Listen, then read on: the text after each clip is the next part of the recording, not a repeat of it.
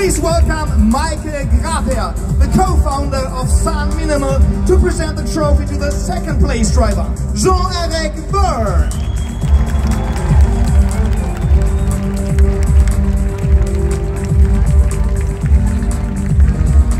And finally, please welcome Robert Geiss, entrepreneur and TV star, to present the trophy to our winner, Nick Cassidy.